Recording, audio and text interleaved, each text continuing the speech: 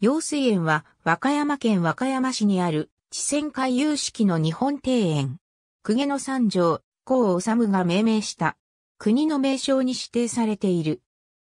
紀州藩第十代藩主、徳川治宝によって文政元年から文政九年にかけて造営された西浜御殿内の広大な大名庭園である。もともとは紀州藩士山本理左衛門のの下屋敷であったと伝わっている。総面積は3万3000平方メートル。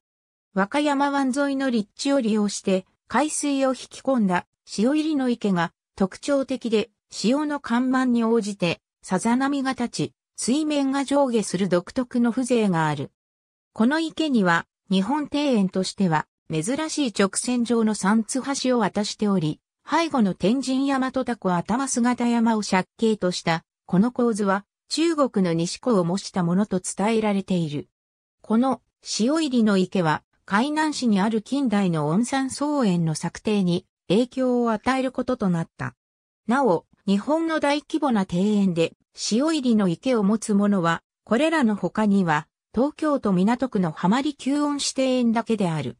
大名庭園としては、全国唯一の個人所有の庭園であり、平成3年より平成6年にかけ文化庁指導のもと、用水亭解体修理工事が行われた。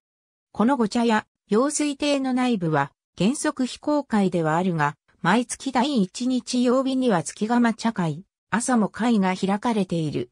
おさむたからは西浜御殿に表線経営元や楽家当主、三井ホッケ当主の三井交友などを招いた。平成7年の NHK 大河ドラマ、八代将軍、吉宗のロケ地である。平成18年11月に和歌山市の施設として和歌山市指定文化財建造物港御殿が園内桃畑跡に移築復元され内部が有料公開されている。郵便番号641-0036和歌山県和歌山市西浜線164ありがとうございます。